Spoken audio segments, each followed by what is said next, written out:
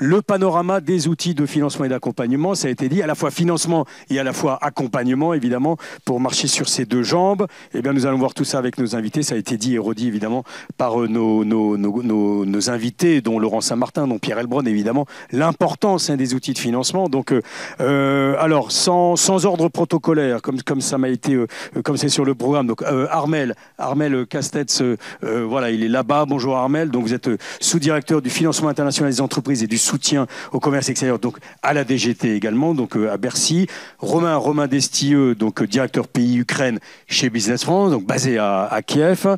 Madame Kassab, bonjour Madame, vous êtes directrice du département, directrice adjointe, pardon, du département Orient, Agence française de développement, l'Agence française de développement qui s'installe à, Kiev, hein, dans, la, foulée d'expertise France qui était déjà présente, qu'on aura sur une table ronde santé, l'AFD. Donc, euh, Denis Lefers, directeur général assurance export BPI France, euh, Bertrand, Bertrand euh, Barrier, vous êtes euh, le, président de la très active Chambre de commerce et d'industrie France-Ukraine, hein, et associé au cabinet Janté d'ailleurs, hein, dont vous avez longtemps, je crois, dirigé le, le bureau hein, à, à, Kiev. Merci à vous. Allez, on va démarrer avec, avec vous, Armel. Rappelez peut-être que les, les instruments restent ouverts, hein, c'est ce qu'on disait, les instruments, notamment les financements directs du Trésor. On est, on est d'accord avec une, une, forte mobilisation de, de, de, de fortes enveloppes, hein, évidemment, à travers un certain nombre d'instruments. On parlera du Fonds civil tout à l'heure. Hein. Peut-être rapidement euh, décrire ce qui, ce qui existe par ailleurs.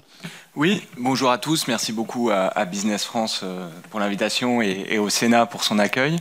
Euh, je vais juste dire quelques mots en introduction pour rappeler ce dont on s'occupe à la Direction générale du Trésor, euh, conjointement avec euh, mon collègue Denis Lefers, qui est le directeur général de BPIAE et qui, je crois, dira un peu plus sur l'assurance crédit. Au sein de ma sous-direction, on est pleinement mobilisé, évidemment, pour accompagner, euh, dans la ligne de ce qu'a dit Magali Cézana précédemment, les entreprises françaises qui veulent se positionner sur des marchés en Ukraine évidemment parce que c'est l'urgence pour euh, aider euh, nos alliés ukrainiens, mais aussi parce que on pense qu'il y a là des vrais potentiels pour un savoir-faire français et il y a un besoin de savoir-faire français euh, sur le terrain. Les instruments sont ouverts, c'est ça qu'il faut avoir en tête. Voilà, donc les instruments sont ouverts, j'en cite juste quelques-uns. Euh, le fonds d'études et d'aide au secteur privé, donc le FASEP, je crois qu'il est quand même assez bien connu, mais qui est un instrument important qui permet de financer des études ou des démonstrateurs. Et qui est particulièrement bien taillé, on peut penser, puisqu'on parle du FASEP. Tout à l'heure, on aura une entreprise en ingénierie dans le domaine de la santé qui a recours ou qui s'est positionnée dessus. C'est particulièrement bien taillé, on peut penser, sur, euh, sur l'Ukraine. On peut aller jusqu'à quel montant? C'est du don, ouais. c'est entre 100 000 et 800 000 euros. Ouais. Il faut une part française de 85%, donc qui est élevée, mais en général, comme on est sur l'ingénierie du savoir technique ou un démonstrateur, on y arrive assez facilement. Et c'est évidemment très intéressant pour nos alliés ukrainiens, puisque euh, c'est, encore une fois, c'est du don. Donc on vient mettre à leur service euh, un savoir-faire pour qu'ils se l'approprient. Faut que le bénéficiaire euh, ukrainien soit un bénéficiaire euh, public. Oui. Euh, et, et, à partir de là, on fait connaître le savoir-faire français qui, qui, permet ensuite potentiellement en aval de trouver un contrat. Il y a les prêts du Trésor, dont ça je m'étends pas trop, mais c'est un prêt budgétaire classique qui permet là encore à l'acheteur ukrainien bah, de financer son contrat. Et il y a bien sûr l'ensemble des outils de BPIAE, mais Denis en dira plus que moi, euh, notamment l'assurance crédit, qui est le, le, gros outil. Je voudrais juste dire que, évidemment, tout est ouvert, donc il faut venir nous voir, venir voir BPIAE, venir voir la Direction Générale du Trésor pour se saisir de l'ensemble de ces instruments. Mais aussi, un changement récent, c'est qu'on a ouvert sur l'assurance investissement, donc pour aller investir en Ukraine, on coûte jusqu'à 95%, et ça vous permet euh, de vous protéger, y compris contre ce qu'on appelle le risque politique, c'est-à-dire euh, y compris le risque de destruction physique euh, du bien dans lequel vous avez investi. Donc ça, c'est vraiment un signal de la part de l'État français du fait qu'on veut que les entreprises françaises s'engagent en Ukraine et on veut qu'elles s'y engagent dans la durée parce qu'on couvre sur des très longues durées. On va en parler notamment avec Denis, hein, mais évidemment, mais ce, mécanisme, il est quand même plafonné ou il n'est pas plafonné? En montant Oui. Euh, non, je ne crois pas qu'il soit plafonné. D'accord. Non, vous confirmez Non, il n'est pas, il est pas, il pas plafonné. Alors, est-ce que vous voulez conclure là-dessus? Puis après, je passerai évidemment la parole à Denis d'une façon générale. Hein, et puis après, on parlera un peu plus longuement, si vous voulez bien, parce que c'est ça qui a beaucoup été mis en avant. Hein, c'est ces fameux, euh, euh, le fameux fonds Ukraine hein, euh, vers, vers le civil hein, pour la reconstruction et qui sera très intéressant, notamment pour des PME, des ETI qui jusqu'à présent n'y avaient pas forcément accès pour se, se, positionner sur, sur l'Ukraine. On a à peu près tout vu sur le mécanisme global? Oui, je voulais juste ajouter rajouter une chose, ça a déjà été dit, mais c'est vraiment important, je pense, sur le fait qu'il euh, y a un effort particulier, alors évidemment avec euh, Pierre Elbrun et la Task Force Ukraine, mais mhm. de toutes les administrations, de tous les opérateurs publics pour essayer de travailler ensemble. Et donc, dans les procédures d'instruction, je ne vous donne pas le temps d'instruction moyen pour chacun des outils, mais on est capable de travailler conjointement Direction Générale du Trésor, BPIAE, Business France, la Task Force, dans des délais qui sont vraiment des délais très raisonnables pour essayer de vous accompagner et d'être réactif. Donc euh, c'est vraiment un élément important. Ce n'est pas un outil en soi, mais c'est une espèce d'engagement de, notre part à ce que quand il s'agit d'aller investir en Ukraine, aller trouver un contrat en Ukraine, euh, aller prospecter en Ukraine, vous ayez vraiment une mhm. sorte de, fast track en quelque sorte pour, pour aller vite parce que les besoins sur le terrain justement sont urgents. Euh, je reviens juste une petite question rapide sur le FASEP. Il y a de la, il y a de la demande aujourd'hui, il y a de l'intérêt ou pas? J'ai cité tout à l'heure une entreprise hein, qui, qui, qui, le sollicite. Il y a de, il y a de la, il y a de la demande un peu dans tous les secteurs. Ouais. Euh, et encore une fois, c'est un outil qui est euh, facilement maniable parce que c'est du don, donc du côté, il y a un fort appétit du côté ukrainien. Mhm.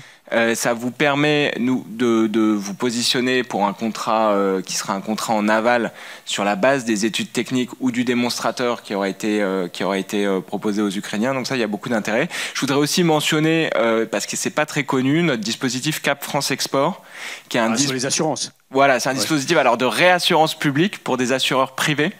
On vient réassurer vos contrats de court terme. Euh, et c'est un dispositif qui là encore est complètement ouvert. On fait aujourd'hui, euh, c'est assez peu mobilisé aujourd'hui malheureusement. On fait surtout euh, des semences ou du petit électroménager, mhm. mais c'est ouvert pour toute catégorie de marchandises ou de contrats. Donc, pour venez nous voir pour, aussi. Pour COFAS, pour Euler et les autres, quoi, c'est ça D'accord. Et eh ben parfait. Alors on vous retrouve tout à l'heure. Donc on, discutera de ce fameux fonds civil de 200 millions qui a beaucoup fait parler lors de la visite du président Zelensky à l'occasion des, des célébrations du 80 20e anniversaire du débarquement des Alliés en, Normandie. Ça avait été annoncé à cette occasion, donc les 200 millions. Alors, euh, je me tourne vers vous, Denis, Denis Lefers. Alors, directeur général, le côté assurance-export de BPI France. Euh, euh, Armel a cité le mécanisme d'assurance des investissements, évidemment, qui est ouvert hein, pour soutenir la reconstruction, mais il y a d'autres outils. Alors, quel est globalement euh, est-ce que c'est business as usual aujourd'hui sur l'Ukraine, mais peut-être avec des volumes un peu faibles, pour les outils de, BPI France Quelle est un peu la stratégie de BPI France sur euh, l'Ukraine lors des colloques de, Business France? Ben Souvent, on, évoque BPI France hein, sur, sur la Tunisie, sur la Pologne, enfin sur des pays pacifiques qui ne sont pas en guerre, etc. Comment fait-on sur l'Ukraine? Alors la stratégie, elle est définie conjointement avec, bien sûr. Euh, avec les, les collègues du Trésor. oui. avec les collègues du mhm. Trésor. Et peut-être dire que non, ce n'est pas business as usual. C'est pas comme avant. C'est pas comme avant février de, 2022, parce qu'avant 2022, sur le cœur de notre métier, de nos instruments, qui est l'assurance crédit, c'est là où on faisait les plus gros volumes, on travaillait beaucoup. On avait une montée en puissance sur l'Ukraine depuis 2016 avec des gros deals et sur lesquels on travaillait conjointement avec le Trésor en faisant ce qu'on appelle des prémixés sur lesquels le Trésor apportait une partie de son financement en prêt direct, prêt d'État à État et nous, nous apportons une autre partie sur du crédit garanti bancaire euh, par BPI Assurance Export. Donc il y avait ces outils-là qui qui étaient en pleine puissance et le conflit, on va dire, a cassé. Euh, Bien sûr, mais ils sont toujours possibles. Alors ça, j'allais dire, comme, euh, comme Armel euh, l'a dit, l'ensemble de nos outils chez BPI, de l'assurance prospection aux cautions préfis à l'assurance crédit et à l'assurance investissement, on va y revenir, sont aujourd'hui ouverts notamment si vous voulez rentrer en relation d'affaires euh, avec des acheteurs privés, l'assurance crédit est toujours ouverte. Alors pourquoi il y a moins d'assurance crédit? Peut-être un facteur explicatif. C'est pas parce que on ne veut pas le faire, ou c'est pas parce qu'on est averse au risque, c'est parce que simplement un crédit garanti bancaire, ça coûte relativement plus cher et que conformément aux, euh, aux, préconisations du FMI, les autorités, alors je parle souvent, un peu sous mon ancienne casquette quand j'étais il y a deux mois encore au Trésor, il a été privilégié pour soutenir l'Ukraine le don, d'où le fonds don, et les prêts concessionnels. Voilà. Donc l'assurance crédit est un produit qui, dire, qui est plus utile en temps normal, mais néanmoins en relation d'affaires de privé à privé, c'est quelque chose qui fonctionne bien. On peut le faire sur le public aussi, sur le souverain ou les entreprises euh, et les entreprises publiques, mais c'est un instrument qui coûte plus cher. Et c'est pas conformément aux autorités, aux, orientations politiques qui ont été données, c'est pas ce qu'on privilégie aujourd'hui. Alors donc la garantie de projet international, en théorie, ça existe encore, hein, c'est actionnable. Pareil, l'assurance prospection. Plus largement, comment vous allez vous positionner euh, on, le dit, hein, maintenant, il s'agit de durée, de durée, de durée pour évidemment gagner d'ici quelques années, mais on essaie de se projeter le plus loin possible. Comment vous vous positionnez, et notamment sous le volet où on vous voit beaucoup, qui peut être, je ne sais pas, prise de participation pour une entreprise française qui veut se développer là-bas, euh, euh, accompagnement à l'international, euh, avec une task force évidemment qui pourrait être dédiée sur le pays. À plus long terme, quelle serait la stratégie de BPI France? Alors, nous faisons partie de la team France Export, hein, de la même manière euh, que, les autres, que les autres acteurs, et c'est la stratégie qui a été évoquée euh, par, par Armel. On, la partage complètement, de sa définition jusqu'à sa déclinaison, et avec les autres acteurs de la team, que ce soit avec BF, avec lesquels on, partage aussi un certain nombre d'outils. Euh, et donc voilà, là-dessus, on est vraiment dans le mindset de ce que les autorités politiques font. Sur l'accompagnement, l'accompagnement, c'est plus le sujet de Business France pour le moment et euh, sur lequel nous on, appuie aussi parce qu'on a une convention de partenariat entre BF et, euh, et BPI Assurance Export pour faire des missions d'accompagnement pour aller sur le terrain. On a aussi un partenariat avec le MEDEF bien évidemment pour les grandes entreprises et ça c'est important également. Sur l'investissement, Armel en a déjà, parlé, on, est capable de couvrir euh, jusqu'à 95% donc de, de, du montant de l'investissement. Alors qu'est-ce que c'est un investissement? Qu'est-ce qu'on couvre? Ça peut être soit une participation en capital, à travers la création d'une entreprise. Ça peut être aussi un prêt bancaire d'accompagnement, euh, des prêts de, caution, etc. Donc ça, on est capable de, on est capable de le couvrir. On a eu, on a failli faire notre premier dossier pour un semencier dont je tairai le nom, mais qui finalement a renoncé. et c'était pour, pour, ouvrir une boîte, pour ouvrir une filiale, pardon. C'était pour ouvrir une filiale et créer une JV avec un partenaire ukrainien dans le domaine des, des, des semences. Pourquoi il a renoncé, vous savez? Euh, Confidentialité des affaires, je sais bien, mais, non, mais si on peut avoir quand même un petit. en fait, il nous demandait à couvrir euh, mm. quelque chose qui n'était pas un actif qui était couvrable. Donc, pas un actif d'investissement, c'était un actif circulant, et ça, nous, on le couvrait pas, et du coup, ça lui posait problème, et il ne l'a pas fait. Par contre, on a d'autres dossiers en cours d'instruction, et ça, si vous avez des. Donnez-moi un exemple de dossier en cours d'instruction que vous pourriez avoir. Non, non, mais sans citer l'entreprise. Dans, ben, quel secteur euh, Est-ce que c'est des noms connus Est-ce que c'est des belles ETI Est-ce que c'est. C'est des, noms connus, c'est beaucoup de, ça peut c'est souvent dans la logistique et dans l'agroalimentaire. D'accord, parfait. Mais on peut avoir dans l'industrie aussi, il y, a des choses qui se mettent hmm. progressivement en place parce que les hmm. gens ne savent pas encore hmm. qu'on est capable de faire, euh, de faire, euh, de mobiliser, euh, de mobiliser cet outil. À terme, avoir un bureau BPI France à Kiev, cela pourrait avoir du sens. Encore une fois, si on se positionne sur le long terme? Alors aujourd'hui, le réseau international de, BPI suit l'Ukraine depuis son bureau de Düsseldorf. Donc en général, il participe aux missions et ceux qui, vont, qui vont sur place. Parfait, ben merci à vous donc pour ce, panorama là aussi hein, du côté donc de l'assurance export et donc de, BPI France sur euh, l'Ukraine. Euh, je me tourne vers Sandra, Sandra Kassab du côté de l'AFD. Je l'ai dit, hein, ça a été mis en avant hein, l'ouverture officielle du bureau avec une, équipe euh, assez, réduite, je crois, vous m'aviez dit, mais enfin qui, a vocation évidemment à être très active en, parallèle à, la présence des équipes d'expertise France donc sur le champ de l'expertise publique à destination du, du secteur économique. Alors euh, quelle est un peu aujourd'hui, là, là aussi, la stratégie de l'AFD On vous connaît beaucoup sur le moyen terme, le long terme, hein, sur des opérations de développement euh, économique, mais aussi humain, évidemment.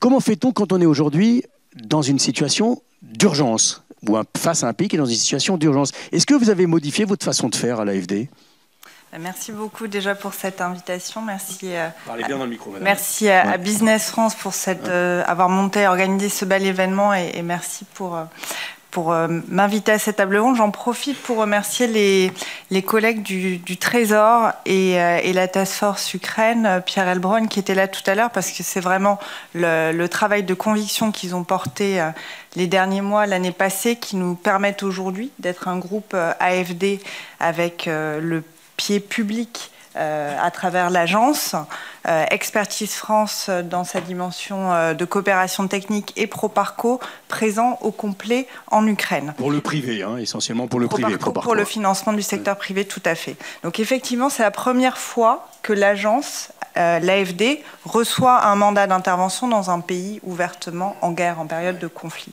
Donc c'est forcément une adaptation et et je pense que ce qui a été important dans cette œuvre de conviction, c'était d'avoir un petit peu une rétrospective de ce que l'on fait déjà dans des contextes de vulnérabilité par ailleurs, et puis d'avoir d'essayer d'avoir une compréhension du contexte ukrainien, de la résilience démontrée des acteurs ukrainiens, pour voir quel positionnement on pourrait trouver entre ce court terme, cette urgence, et la préparation euh, déjà active et déjà en cours de, la reconstruction. Alors ça veut dire quoi en termes de, décision de projet, de profilage de, de projet hein? Euh, Vous aviez eu euh, euh, des prêts budgétaires hein, d'un montant total, je crois, de 400 millions d'euros pour le compte de l'État français. Hein? et puis là, je crois qu'il y a une autorisation de mobiliser 400 millions supplémentaires, si, je, ne me trompe.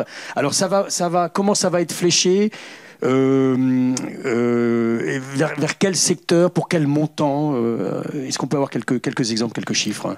Oui, donc dès 2022, en fait, effectivement, l'État français s'est appuyé sur euh, l'outil, l'instrument AFD pour euh, apporter des financements budgétaires directs au gouvernement ukrainien. Donc ce sont des opérations budgétaires classiques qui ont été faites pour le compte et au risque de l'État français.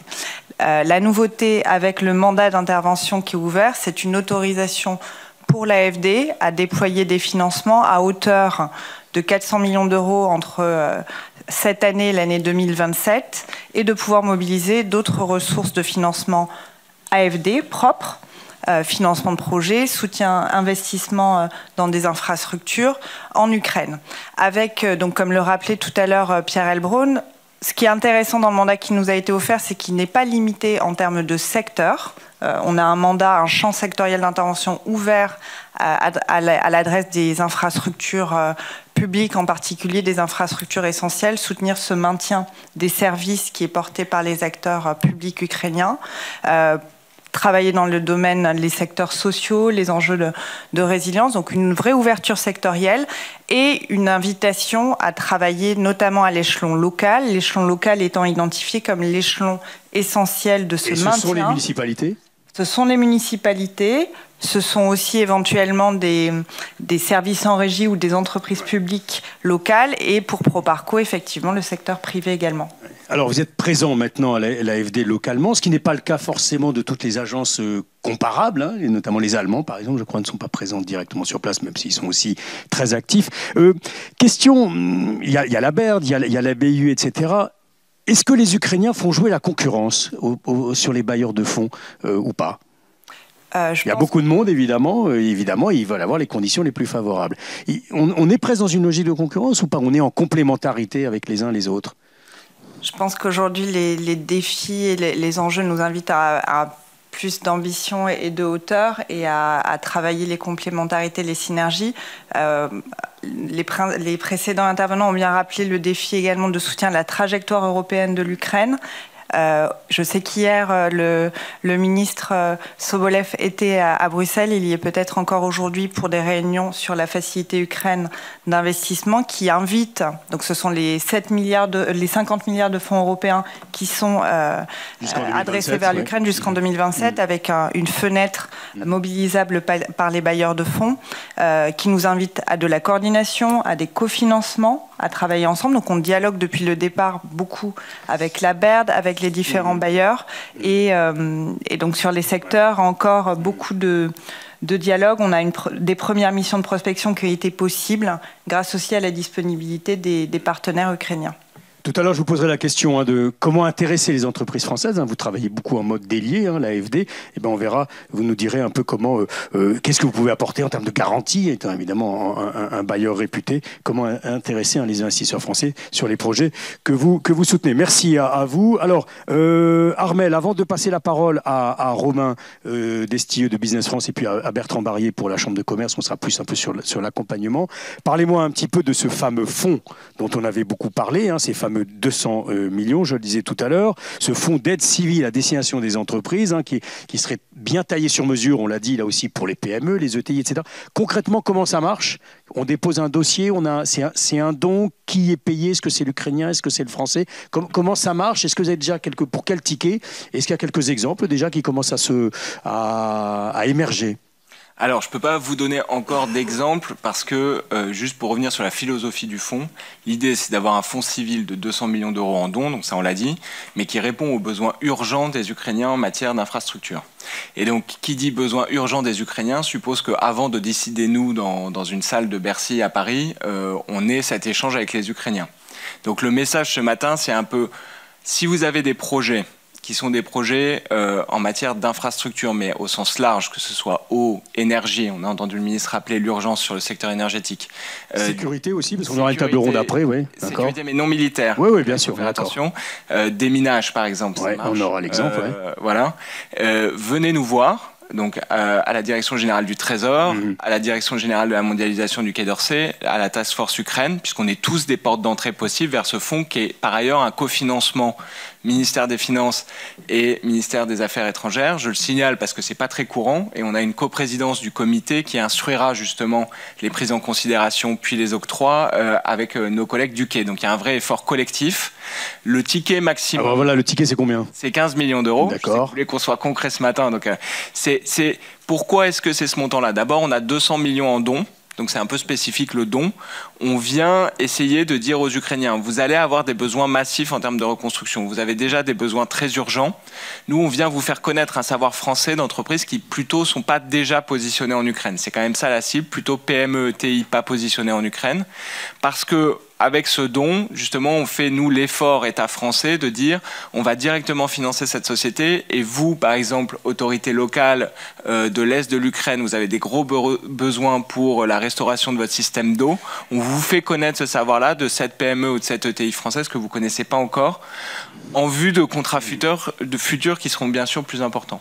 Et qui permet évidemment, oui, donc de se positionner. On est moins dans une logique de grands contrats, hein, évidemment, mais plus dans une logique donc de contrats concrets pour les PME et les ETI. Mais le don, il est aux Ukrainiens, c'est ça? Oui, il est aux Ukrainiens. Les Ukrainiens restent les acheteurs. Et ce sont les Ukrainiens qui achètent, aux... qui achètent à, la, société française. D'accord. Mais c'est un don, c'est pas, ils n'ont pas à se financer, c'est ça? Exactement. Parce qu'on vous verrez tout à l'heure, il y a quelqu'un qui nous, qui nous a dit que c'était un peu compliqué, que lui, il avait une, logique un peu perturbée, euh, parce qu'il fallait que l'Ukrainien trouve le financement et après il était remboursé. Alors justement, c'est ça, c'est ça là. Viennent nous ah bah on va lui trouver une solution. Sachant que je voudrais juste ajouter un mot sur le sur le fond, euh, c'est que la part mm. française est à 50%. Je le dis juste parce que c'est un niveau faible pour ceux qui sont familiers des, outils de soutien à l'export par rapport à ce qu'on fait classiquement en don. Je le disais tout à l'heure, les, les FASEP, on était euh, sur une part française à 85%. Donc là aussi, il y a un effort pour pouvoir sourcer mm. une partie du contrat en local. Bon, ben parfait. Merci à vous donc pour cette précision. Hein. Sonner à la porte de, la, de, la, de Bercy et des autres institutions bon, pour ce fonds civil dont on a encore une fois beaucoup parlé. Allez, Romain, Romain Destieux, vous qui dirigez Business France à, à Kiev, donc euh, bon, si vous voulez nous dire comment vous fonctionnez sur place, hein, je crois que vous n'avez jamais fermé, évidemment, ça n'a pas toujours été simple. Parfois, il y a pu y avoir, ça peut être aussi euh, euh, compliqué pour les équipes. Alors, mais plus, plus largement, comment aider l'entreprise qui veut aller ou songe à aller en Ukraine et notamment à bien comprendre les structures ukrainiennes de la reconstruction, à bien préparer les prises de contact avec les administrations euh, ukrainiennes. Ça, c'est un vrai sujet évidemment d'accompagnement euh, pour les entreprises. Hein. Merci Arnaud. Euh, je, vais, en profiter pour remercier tous les gens qui sont venus aujourd'hui. Et, tous les intervenants qui ont accepté de, contribuer au, succès de, de ce forum.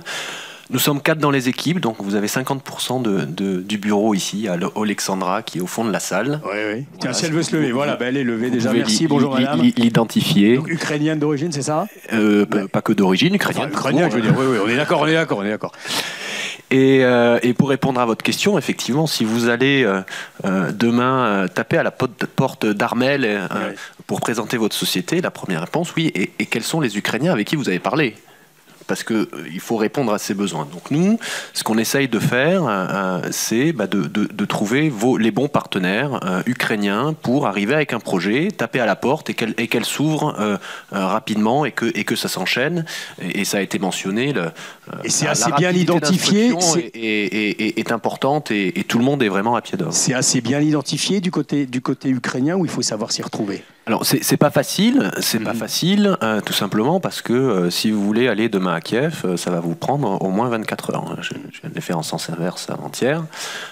donc là, on n'est pas sur du business as usual parce qu'on était habitué à, avoir des relations nombreuses et, relativement faciles. C'est plus le cas. Alors qu'est-ce qu'on qu'est-ce qu'on essaye de faire pour notre bureau? Laurent l'a mentionné. On, fait venir des donneurs d'ordre ukrainiens en France. Ça a été le cas en avril, on va le refaire, on l'a fait pour euh, Eurosatori, euh, ça sera peut-être évoqué lors de la, table ronde sécurité, et on va continuer euh, à le faire. On le fait sous le, format comme aujourd'hui, donc des forums d'affaires. malheureusement, on l'a organisé dans un temps très restreint pour, pour arriver à parler du fond rapidement. et les, les, les, nouvelles conditions de, de sortie pour les Ukrainiens étaient compliquées. Donc, on, a pris le, le, le, on a fait le choix d'avoir discussion plus franco-française avec beaucoup d'acteurs qui connaissent déjà très bien l'Ukraine et de partager cette mm-hmm. expérience. On voit les, les demandes de, de, de rendez-vous de cet après-midi sont très nombreuses, on n'a plus de place. Donc effectivement, à partir de 14h30, je crois qu'il y a une vingtaine d'entreprises ukrainiennes qui viendront. Alors, donc des délégations ukrainiennes en France, ça c'est intéressant, les acheteurs, hein, on l'a dit, le pavillon France, évidemment, tous les forums d'affaires, notamment le Rebuild à, le Rebuild, pardon, à, Varsovie, euh, fournir de l'information, évidemment, aux entreprises françaises. Voilà, hmm. on fournit de l'information, euh, donc on, a une lettre de veille euh, économique mensuelle. Or, la, Chambre, je pense, Bertrand aussi, font, font ce travail. Euh, on a édité un, livre blanc, on publie sur notre compte LinkedIn. Et puis l'étape d'après, après la France, c'est Varsovie qu'on propose. C'est un format qui a été, été imaginé par, par les Ukrainiens pour bah, éviter à ceux qui, avaient peur déjà tout simplement de venir à Kiev, parce que ça fait peur de venir à Kiev, de, de venir les rencontrer à Varsovie. C'était pas gagné d'avance et ce format, il a très très bien marché, il marche très très bien. Euh, il y, a, beaucoup de gens dans la salle qui étaient là euh, en, novembre, euh, en novembre dernier. Il y a eu une édition qu'on a, donc on a organisé le pavillon France sur la santé. C'était pas gagné non plus d'avance et ça a très bien marché. Ça sera évoqué, je pense, sur le table ronde de la santé. Alors Romain, il y a aussi les Ukrainiens, et ça je pense que c'est à savoir, ont mis en place une, une procédure de passation des marchés publics à travers une, euh, à travers une, une, plateforme, hein, selon les règles de bailleurs de fonds internationaux. Euh, les, achats effectués donc avec les fonds des organisations internationales euh, qui financeront la reconstruction de l'Ukraine passent par cette plateforme. Hein. Elle est facile, c'est compréhensible? Elle est, elle, est, elle, est, elle est pas plus compliquée que d'autres. elle, est, elle est relativement facile dans le sens où elle, elle, elle est utilisée par tous. Euh, elle est, euh, c'est quelque chose euh, qui a été mis en, place lors des, réformes post qu'on appelait post-Maïdan après 2014, mhm. avec la volonté d'avoir plus de transparence. Et, nous faisons régulièrement des interventions avec un expert qui vous explique. Et les, les retours des entreprises françaises sont bons. On n'a jamais eu quelqu'un qui dit j'y arrive pas. Bon, bah, tout à l'heure, si on a le temps, et ça, ce sera un peu un prélude au table ronde sectoriel, on verra les, autres secteurs que vous pouvez recommander, outre ceux qu'on va passer donc en revue lors de la, table ronde. Merci à vous, Romain. Euh, Bertrand, Bertrand Barrier, merci pour votre patience. Je l'ai dit, donc vous, vous dirigez la chambre de, commerce franco-ukrainienne, et puis vous êtes le, vous êtes euh, avocat chez, chez, chez Janté, vous avez dirigé le bureau de, de Kiev. Alors, bon, vous pouvez nous donner quelques chiffres si vous voulez sur une chambre qui, je crois, elle non plus n'a jamais fermé, et nous dire un peu quel est le ressenti aujourd'hui de vos membres sur la, situation euh, actuelle. Qu'est-ce qu'on peut en dire en termes de volume d'affaires? Quel est un peu par rapport à l'avant-conflit à quelle, proportion ils sont aujourd'hui, par exemple? Merci beaucoup. Euh, donc oui, je suis président de la, Chambre de commerce franco-ukrainienne. Euh, quelques, une, petite présentation de, de, la Chambre. On est euh, on fonctionne sous forme d'association, on est 100% privé. Euh, on existe en fait 30 ans d'existence euh, cette année. on recoupe 95% du business français présent en Ukraine mhm. et cela représente à peu près 120 entreprises. ce qui est intéressant de noter, je pense, c'est que euh, on est présent dans, on est un des rares pays qui est présent dans tous les domaines euh, d'activité économique. Euh, grande distribution notamment. Grande hein. distribution, deux établissements bancaires très importants. on, est on représente 50% du marché automobile au travers de Renault et Stellantis sur l'importation de véhicules.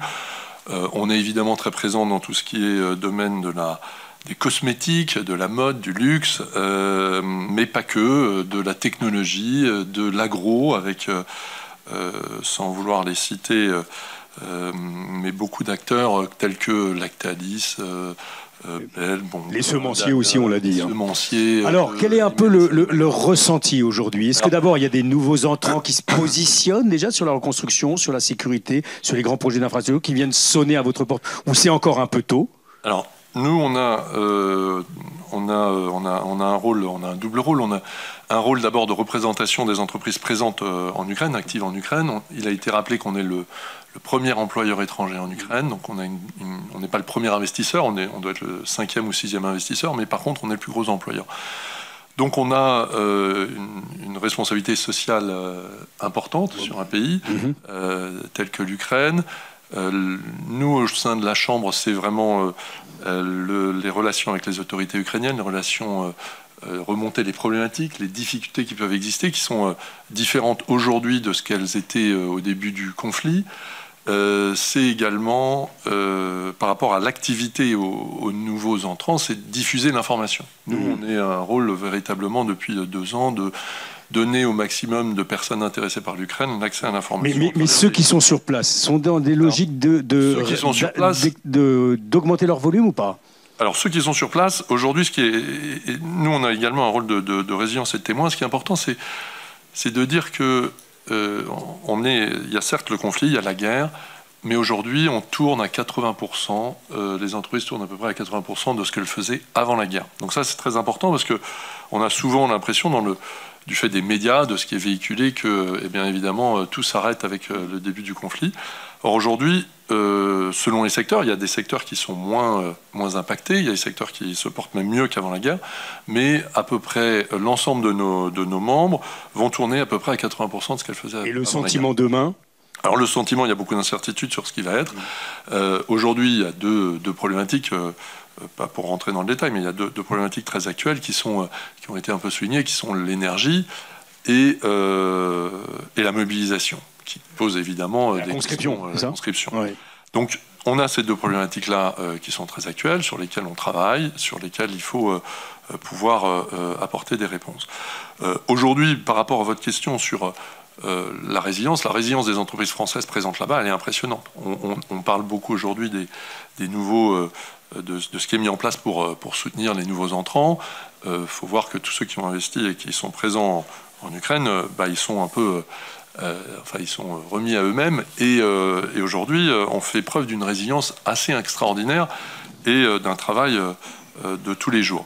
Aujourd'hui, je pense qu'il faut le saluer parce qu'il n'y aura pas de reconstruction sans présence française importante. donc il y, a, besoin de les, soutenir et c'est ce qu'on essaye de faire au sein de la Chambre.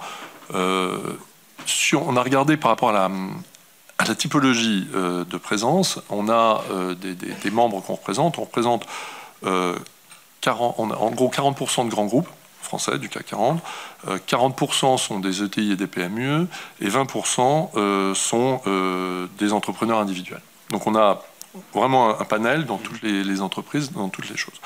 Sur l'information qu'on diffuse, pour rapport aux, nouveaux entrants et, ceux qui veulent accéder au marché ukrainien, euh, on, met à disposition, on essaye de mettre à disposition un ensemble d'informations qu'on met euh, gratuitement à disposition. Il n'y a même pas besoin d'être membre de la Chambre. On organise des webinaires pour comprendre euh, bah, plus en détail quels sont les, les dispositifs de la garantie euh, euh, d'investissement euh, mis en, du côté français, que ça soit ensuite le fonds, que ça soit au niveau européen la mobilisation des 50 milliards jusqu'en 2027, comprendre quelle est la part qui est aux entreprises et quels sont les, modèles de, financement mis en place. du côté ukrainien, on fait venir également beaucoup d'intervenants au travers de webinaires que vous pouvez retrouver sur le, site de la mhm. Chambre ou nous écrire, on, vous redonnera accès sur comprendre quels sont les besoins ukrainiens, parce qu'il y a besoin de comprendre quels sont les besoins, euh, quelles sont euh, les urgences auxquelles il faut répondre. Donc voilà, on a ce rôle euh, de, de, diffusion vraiment de l'information et de partage au plus grand nombre. Bon, et l'impression, pour conclure quand même, qu'on reste sur une tonalité assez positive sur le long terme. Les, temps vont être peut-être durs là, parce que le pays est très frappé dans, ses, capacités énergétiques, et nous sommes en été, donc euh, l'hiver risque d'être difficile. Mais vous avez l'impression que les entreprises, membres de la Chambre, dans tous les domaines, vous le disiez, se projettent euh, sur le long terme et déjà sentent la, reconstruction. Aujourd'hui, les, entreprises qui sont présentes, euh, il y en a aucune qui, soit vraiment partie du, mm. qui avait une présence euh, véritable, qui soit partie. Donc ça, c'est mm. déjà un signe, mm-hmm. c'est déjà un, élément très positif. Euh, ensuite, il y a des projets, il y a tous ces grands projets euh, qui arrivent. Nous, moi, je le vois au travers de mon activité, comme ça fait 15 ans que je suis, que je dirige le, cabinet Janté en Ukraine. On travaille sur, on a fait pratiquement, on a intervenu sur tous les tous les, contrats, tous les gros deals, tous, les, accords intergouvernementaux, des, hélicoptères, aux bateaux, aux, rails, dans, l'eau. Donc on le voit aujourd'hui, il y a beaucoup d'intérêt. Ce sont des projets qui sont Hmm. Donc il y, a de l'intérêt, c'est des projets qui mettent du temps à mettre en place. Euh, le côté positif, c'est vraiment le, fait que euh, les entreprises françaises sont là. C'est dur au quotidien, ça, a des, vraies problématiques et parfois des problématiques humaines euh, compliquées, mais personne n'est parti. Et donc aujourd'hui, c'est ça le, côté positif. Il y a de l'intérêt pour le marché, il y a des intérêts pour des, nouvelles, de, nouvelles prospections.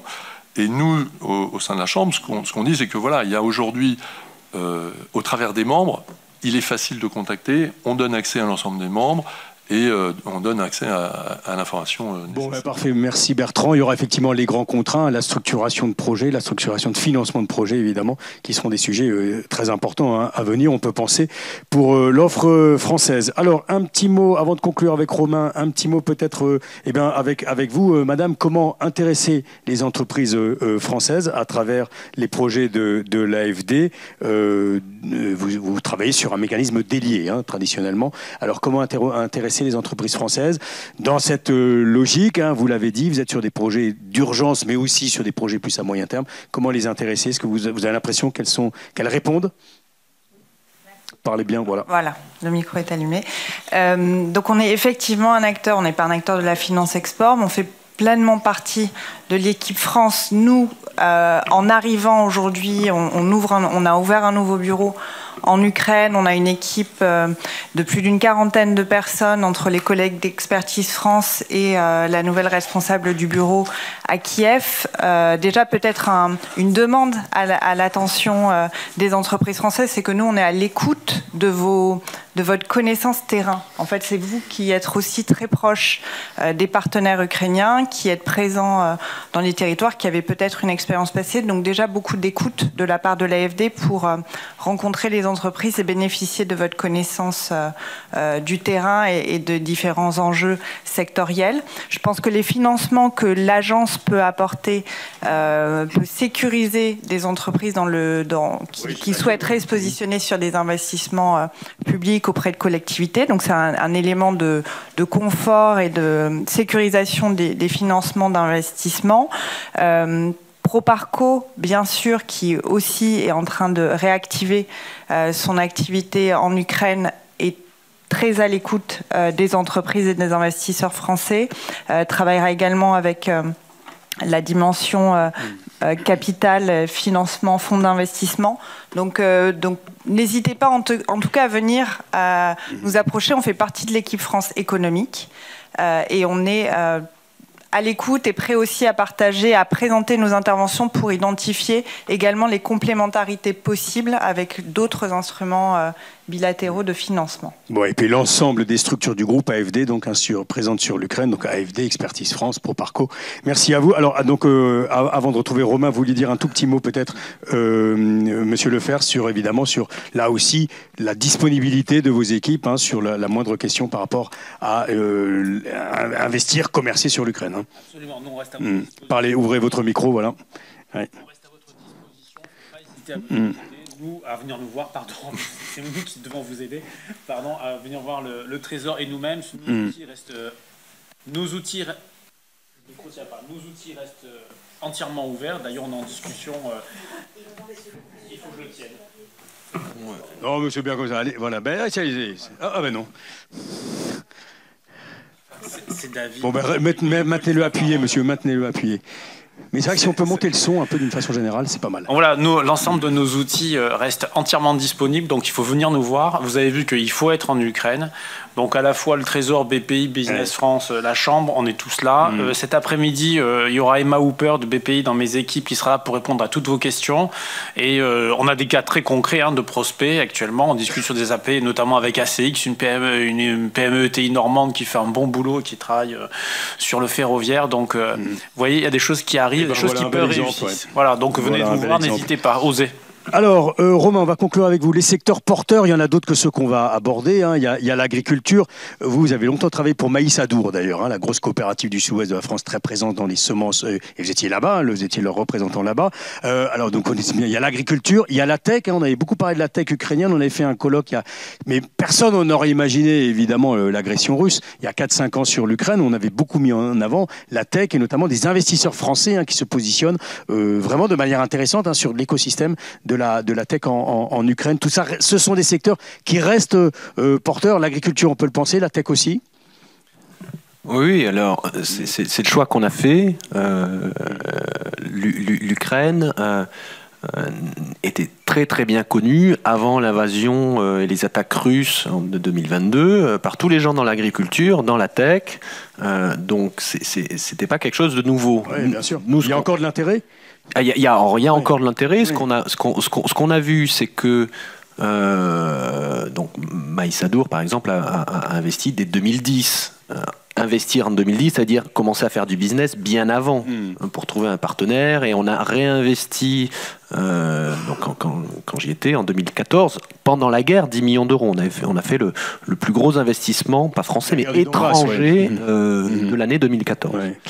C'était pas Et là, il y a de la demande aujourd'hui, en ce Alors, moment-là, la sur, demande sur la revient. tech. Est-ce que ça revient? Est-ce qu'il y a des développeurs? Est-ce qu'il y a des, des, des, des startups françaises qui songent à, à avoir des partenariats avec des, startups ukrainiennes? Les, les, les, les, les flux se sont quasiment totalement arrêtés, de nouvelles demandes en tout cas sur notre bureau au début de la guerre. Pourquoi? Hein, Parce que c'était déjà un marché Ouais. mature et ceux qui hésitaient, ils hésitaient parce Ouais. qu'ils se sentaient peut-être pas assez forts. Mm. On revoit des gens qui, qui reviennent euh, et il faut revenir plus vite parce que euh, ça, ça a été euh, euh, évoqué par euh, Magali Cézana euh, en, début. Les, Ukrainiens, euh, ils produisent autant avec 20% de, de, en moins. C'est-à-dire l'année dernière, il y a eu une production exceptionnelle et euh, ils, ils- ils gagnent de l'argent. Ils, ils investissent. Or, ils investissent, se diversifient aussi sur d'autres secteurs pour préparer leur autonomie énergétique. Parfait. Merci à vous tous. C'était le mot de la fin. Non, c'était pas le mot de la fin. Alors allez-y, le mot de la fin, mais rapidement chose. pour qu'on retienne les délais, Romain. Et je sais que vous serez là cet après-midi, évidemment, avec toutes vos vite. équipes pour le Pierre rendez-vous Lebrun a- B2B. A, a mentionné le- la question de rentabilité, que c'est pas que la rentabilité. Et je vais rajouter effectivement, c'est une aventure professionnelle et humaine exceptionnelle l'Ukraine. Euh, donc ceux qui n'y sont pas encore, allez-y, euh, vous ne serez pas déçus.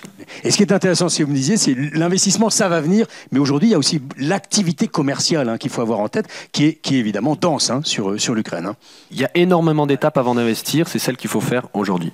Eh ben, la première étape, c'est tout de suite de les applaudir chaudement. Merci à eux.